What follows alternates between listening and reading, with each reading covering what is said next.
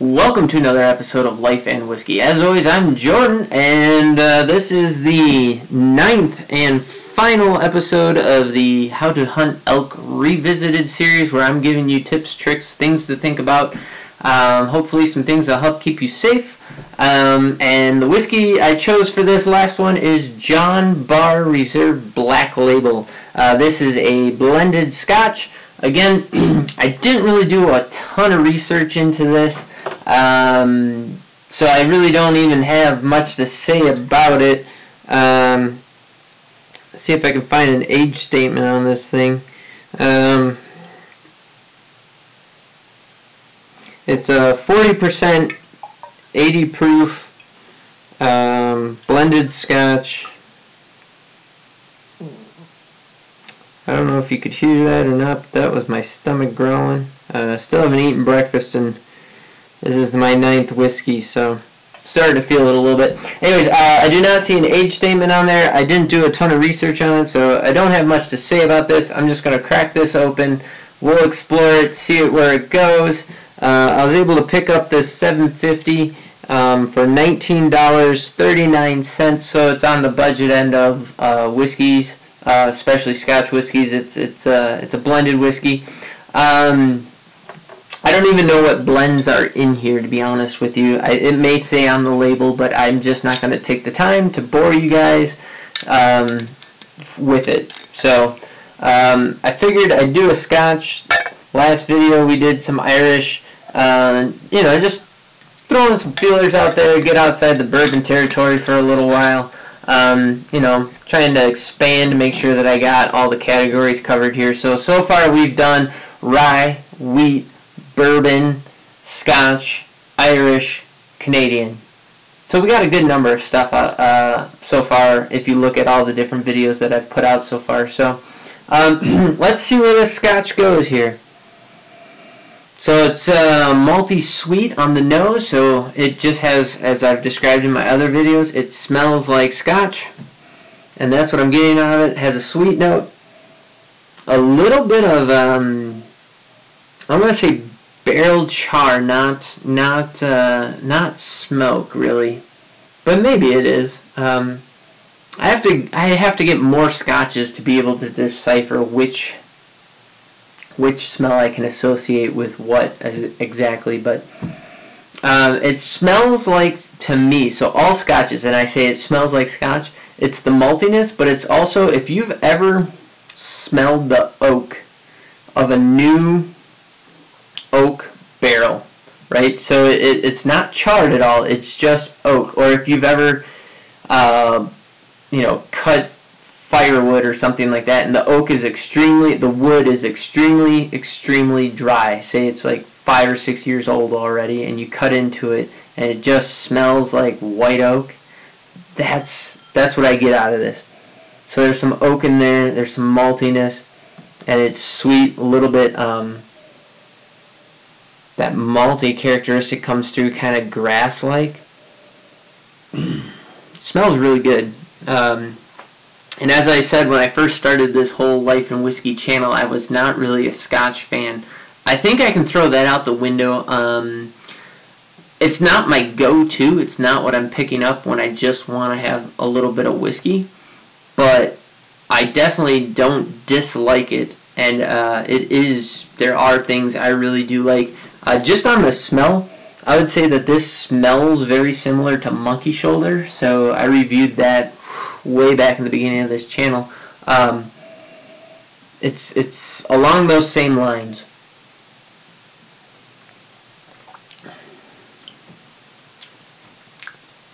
Okay. The maltiness, the sweetness, all of that kind of gets, it's there, but it's very tamed down. It's very pushed aside the um, the oak comes very very forward. A hint of smoke or ash I would say.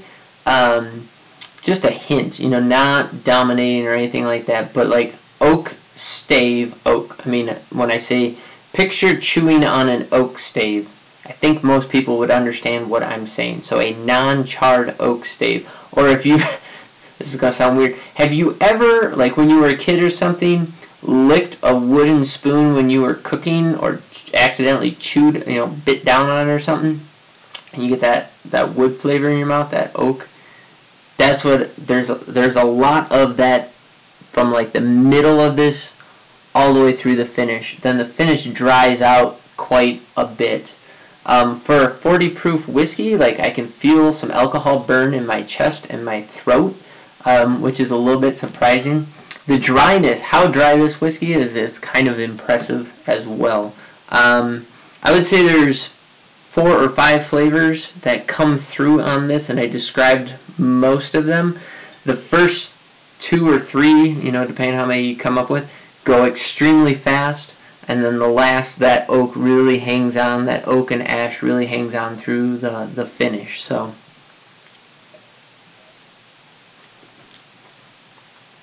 second sip didn't change it's pretty much exactly the profile as I described it before this I can see being a good back porch cigar sitting kind of a whiskey just enjoying the night I would personally um, I used to put scotch on the rocks. I can, and it definitely changes and opens things up, and I can see some that it would be really good.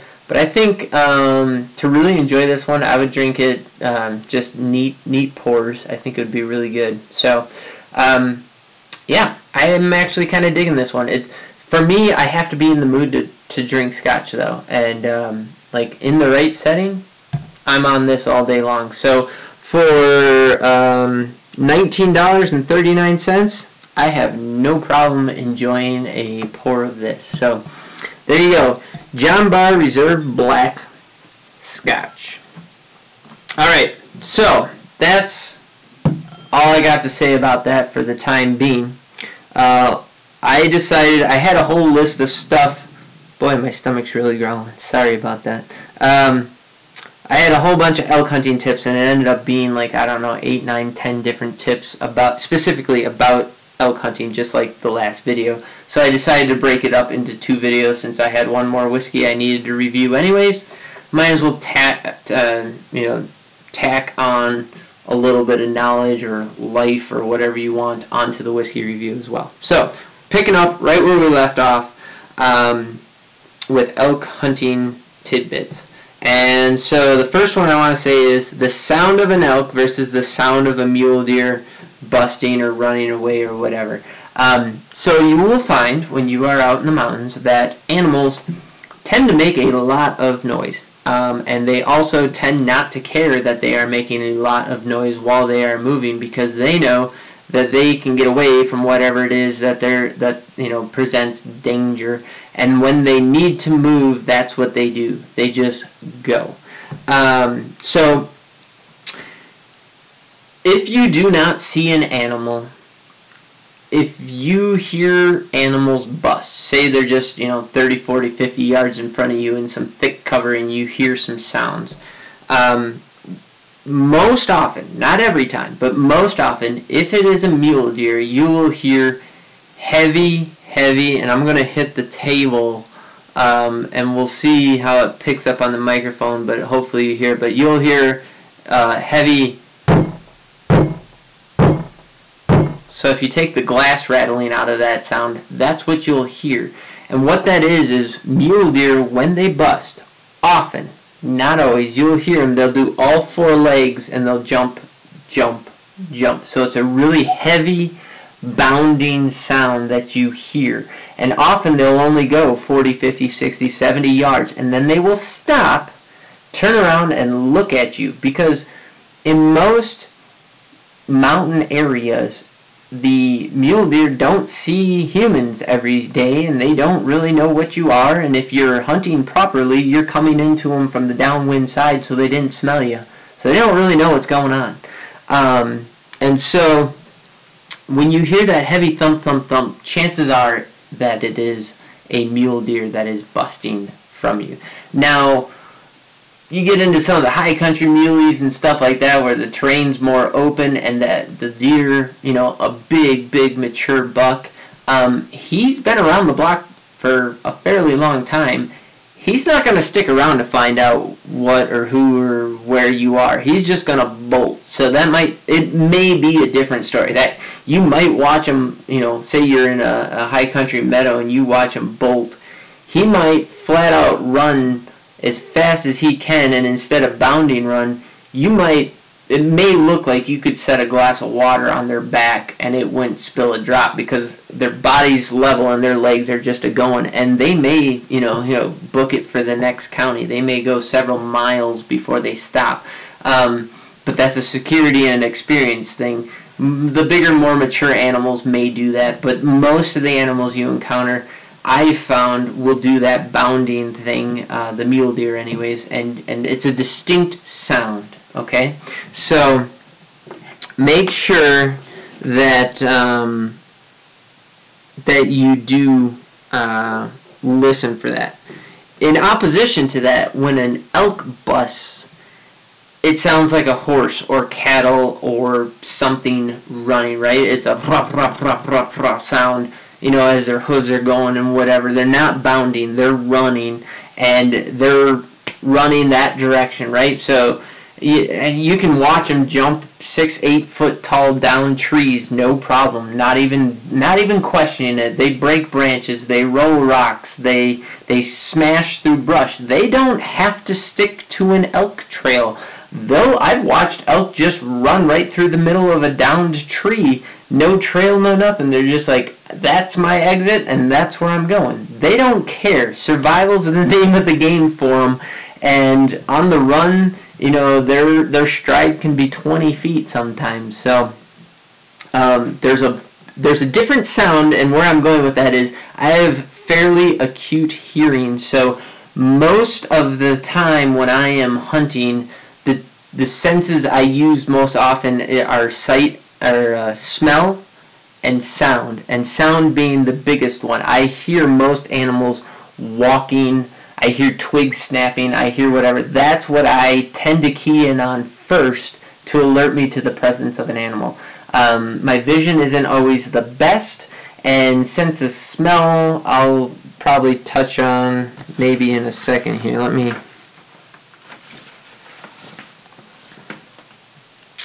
Yeah, very next one we'll get into smell. So, um, there you go. Uh, definitely keep your ears open, uh, again, for branches moving and whatever else, or branches breaking and stuff like that. And if I haven't mentioned it before, I will mention it here, and I don't remember if I have or not because this is video number 9.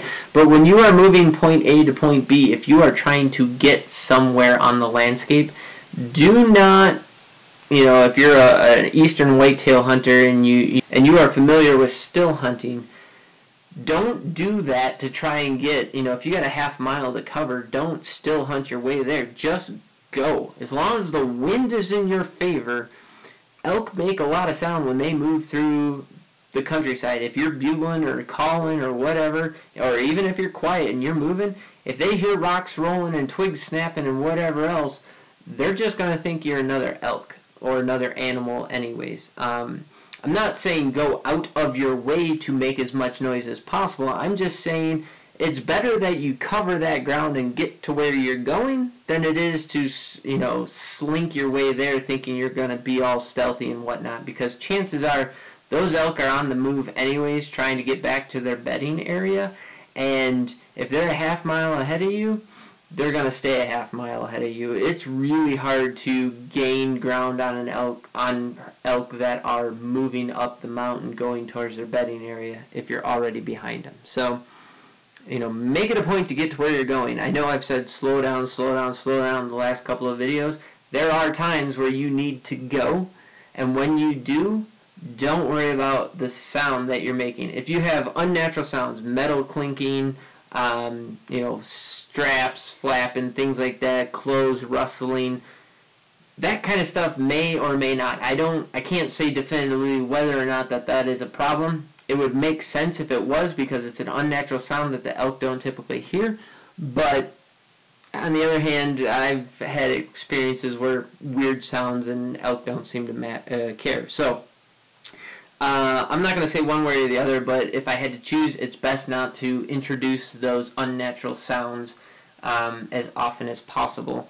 Um, but if you're making natural sounds, branches, twigs, ground, your your boots just being on the ground, whatever, thump, thump, thump, uh, that I have found does not really matter. So get where you where you need to go. So there's that. So listen with your ears. Number two, I said hearing's number one. Smell for me, smell's a good one. So yes, is our sense of smell anywhere near as good as any other natural animal? No, we have really crappy sense of smell. Um, but you can smell elk, and you can smell them from a long ways away. Um, if you are in an area where they have just recently frequented, you can smell the must of those elk in the air. Um, sometimes this can be problematic as you're like, oh, I can smell them, right? But it might just be their their scat, their fecal matter from you know if you're on the edge of a meadow or something, and they were feeding there all night, and there's fresh elk scat out in the middle of that field, and then the sun hits it and warms it up, and now it's now you got this smell wafting over it.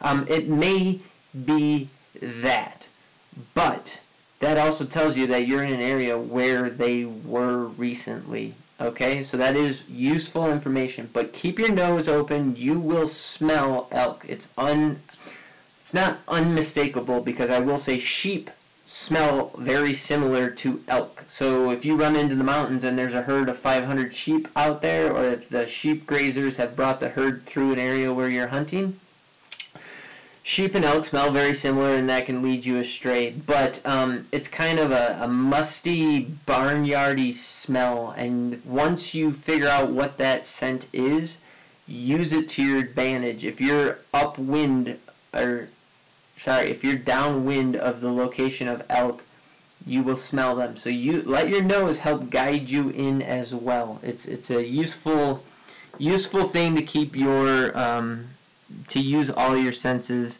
um, at the highest level possible to help you get into position and figure out what's going on. Um, and uh, just in general, um, elk communicate a lot. They're very noisy animals. So not only do they smell, and like I said, you can hear them moving and stuff, but they, they vocalize a lot. So, and all year round, right? Not just during the rut, but, you know, bulls bugle, cows can bugle.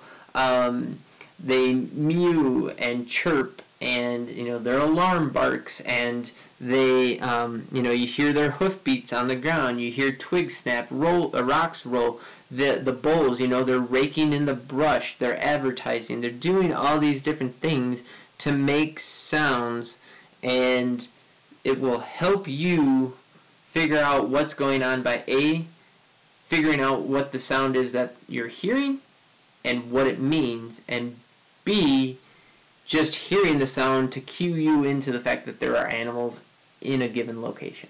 Okay, so sight and smell and sound. The other thing is uh, Chris Roe.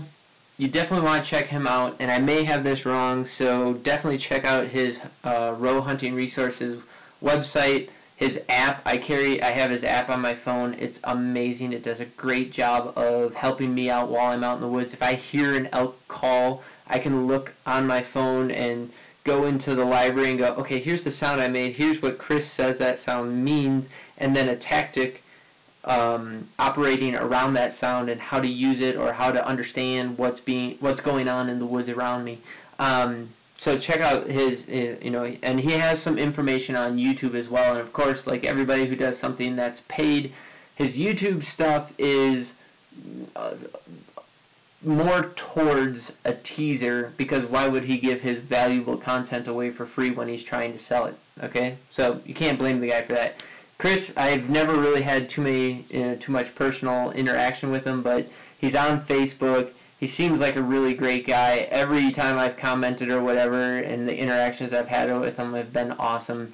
Uh, I love watching his content on, on YouTube. It's really entertaining. I did subscribe to his webpage for a year extremely, extremely helpful. He really paints a great picture. And then in conjunction to that, I also use the Elk Nut um, app as well for the same exact reason. I think both of them have very good um, philosophies that kind of line up with one another. They're Chris's philosophy and I forget the other guy's name, um, but their their philosophies are very very similar. They're different enough that um, if you try one, there's still enough wiggle room in play that you can try the other one um, and maybe still get something to work.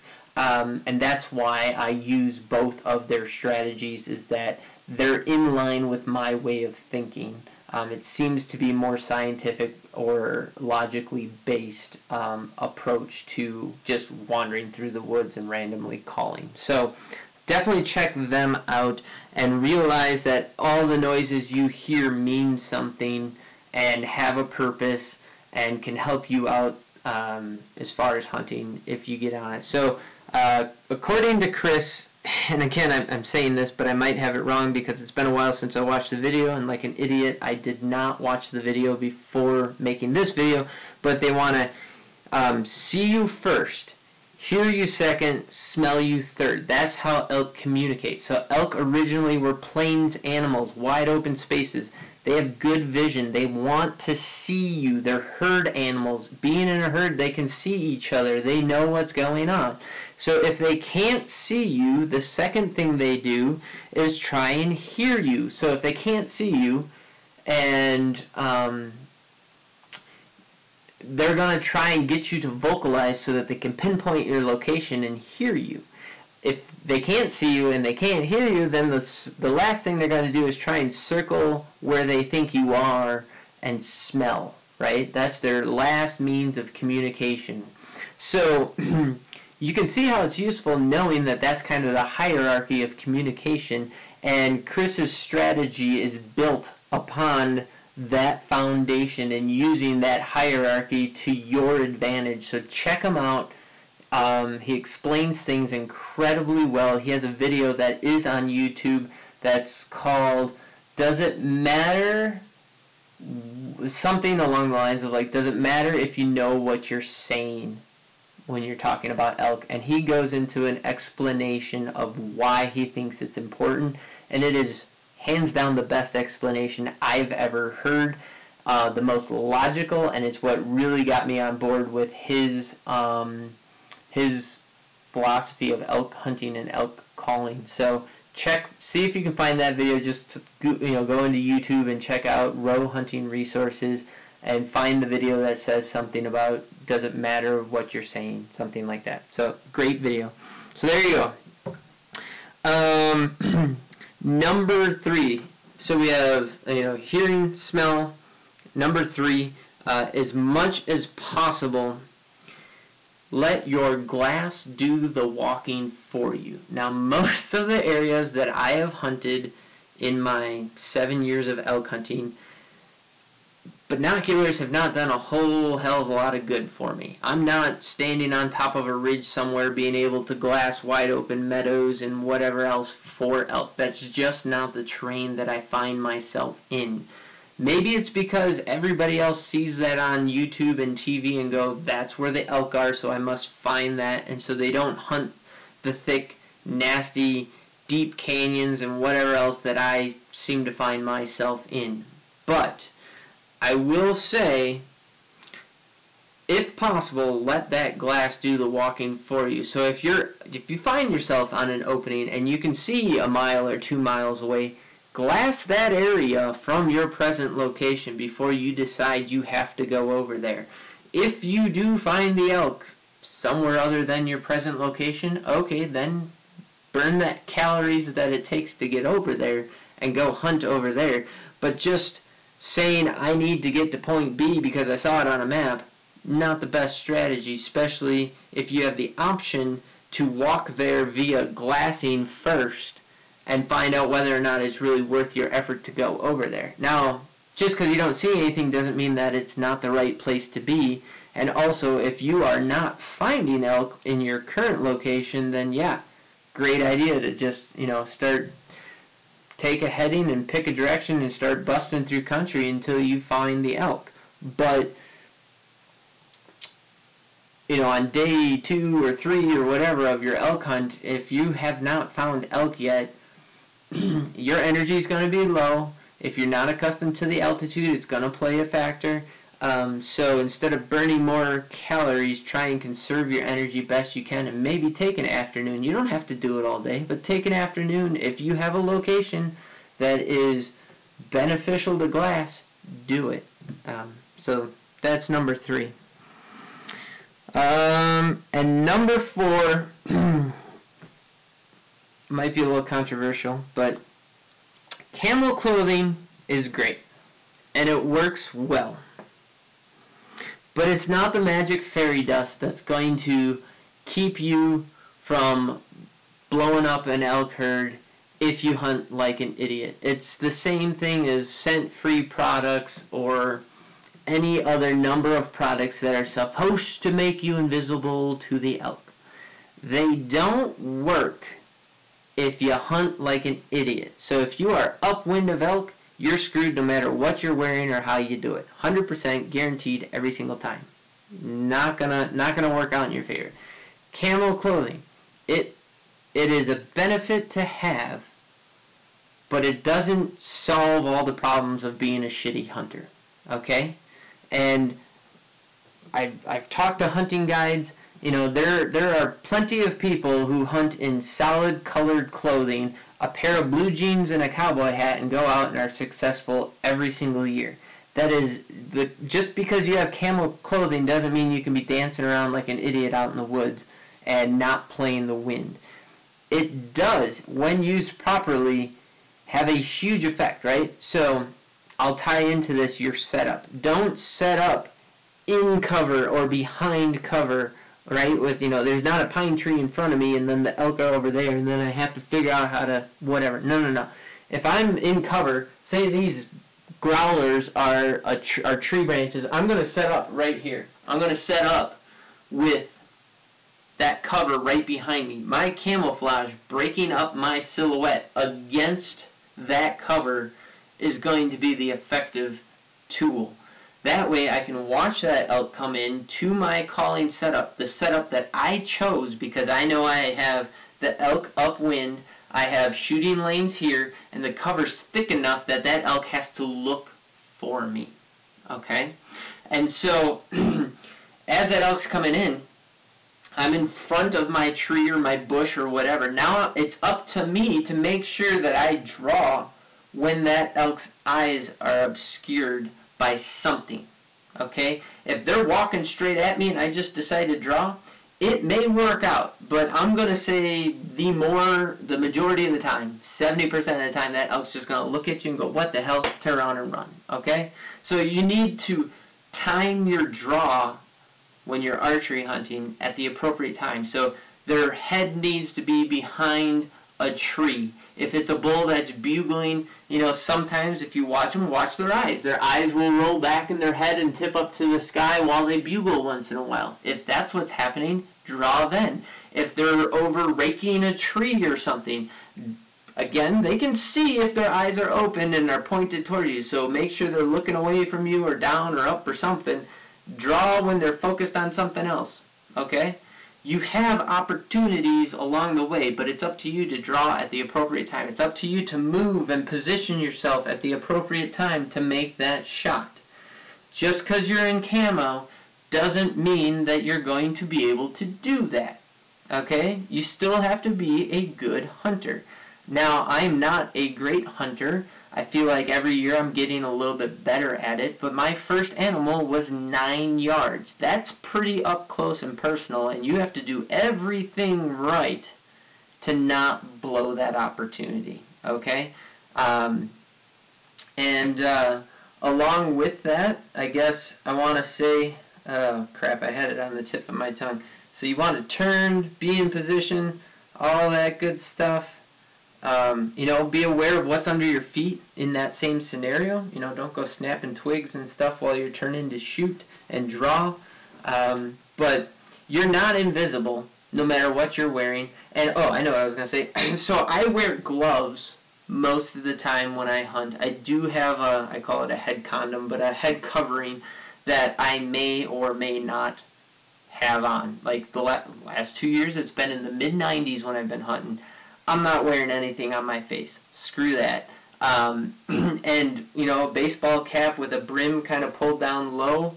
Uh, I you know I got scruff that I let go for you know a couple of weeks or whatever, and so I got a little bit of a beard or whatever. Um, that's about all I do. I don't put camo makeup on. I don't um, you know face paint or whatever. I don't wear a head net most of the time. Um, I you know I do wear gloves often, especially in the mornings when it's cool. So if you're going to do that, make sure you try and practice shooting your bow with the gloves on because your feel is different, how you grip your bow is different, um, and uh, and also like your wrist strap that you put on for your release is going to be sized different if you have a pair of gloves on. So just be aware of all those things. Um, and then also, uh, but like last year, you know, I shot my bull at like noon maybe, somewhere around there, noon one. It was 95 degrees. I so I, I don't wear a t-shirt when I hunt. I wear a long sleeve t-shirt and just roll up the sleeves because that way I got a two-in-one kind of a deal. I mean, my my arm, just how I am, tanned armed, arms bare, hands bare, everything was bare. I was dying. You know, it's super hot. Uh, we had just walked, I don't know, half, three quarters mile through a bunch of blowdown timber and, and thick timber and stuff like that. So, um, you know, I was super, super hot. So I had a white face, you know, tan, white, whatever you want to say, arms, hands, whatever. Um, and we were, my wife and I, we were both together, um, kind of similar, similarly set up, and we were standing in the middle of an elk trail. We weren't really in cover. We weren't really anything. Um, you know, the calf that came in originally, he was just a calf, not not very smart, not wise to the ways of the world. You know, he even so much so that he came in on our back trail, right downwind of us. You know, so what? Uh, it was it was a cool experience. Um, got to meet it, you know, check him out and whatever else, and um, and he didn't really know what was going on. It's kind of cool.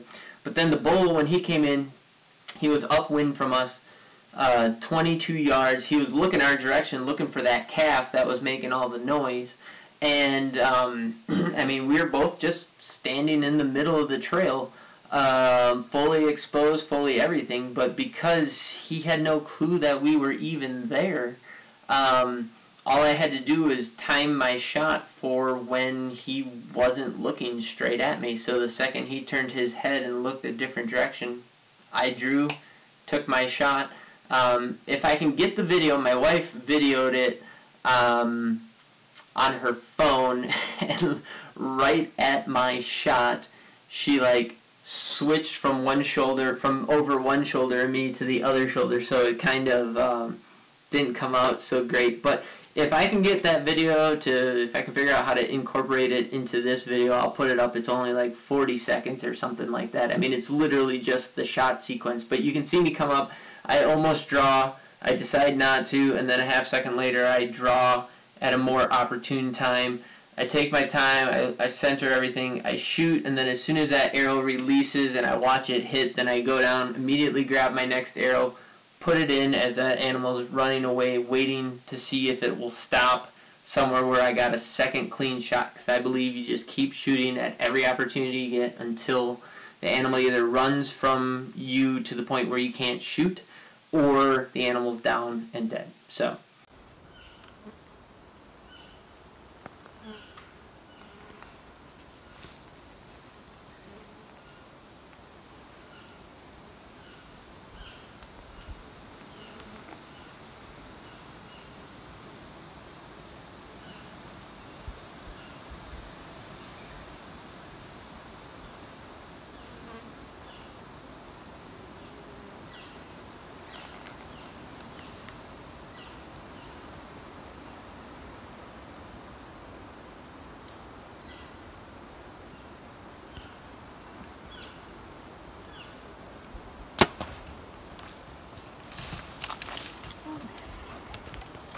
Anyways, long story short, camo clothing does not keep you 100% hidden. Um, it's not the magic cure-all, but it does solve a lot of problems. So check it out. Um, you know, any brand will do. I, I, most of the clothing nowadays are very similarly built and designed and function very, very similarly. So it doesn't really matter what brand you have. I don't have a lot of name brand stuff. I mix match stuff all the time. Whatever works, whatever's cheapest that I can find on sale somewhere, whatever.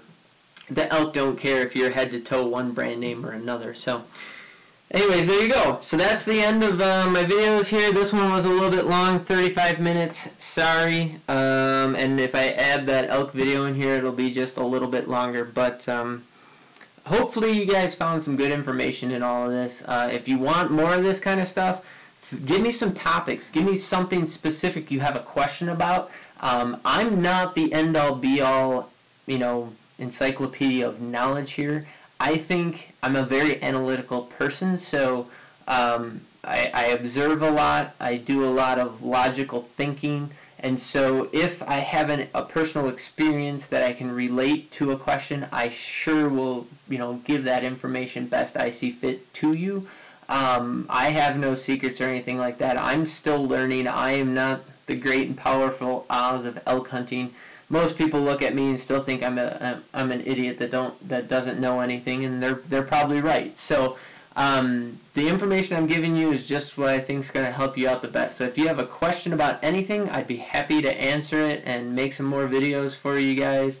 Um, focusing on those questions, answering those questions, but also providing you with some good tasting notes on some delicious whiskey, something to go out and try. So um, there you go. Drop your comment down below. Give me your two cents, your feedback, whatever you think. Let me know what you can find the John Barr Reserve Black Label for in your area. As I said, here in Wyoming, $19.39. Um, pretty good drinker I for a Scotch. As a person who is not really a Scotch fan, I'll drink it all day long. Um, you know, like, subscribe, share this video. Um, you know, give me a thumbs down, give me a thumbs up, whatever you think, um, and any other comments you have. And um, anyways, thank you so much for watching this video and all the videos in the continuation of this series or the revisiting of the How to Hunt Elk series. And um, I hope you guys found some good information here. Thanks for watching. Have yourselves a great day. I will catch you guys in the next video or video series. I haven't decided what I'm doing yet. Have a great day.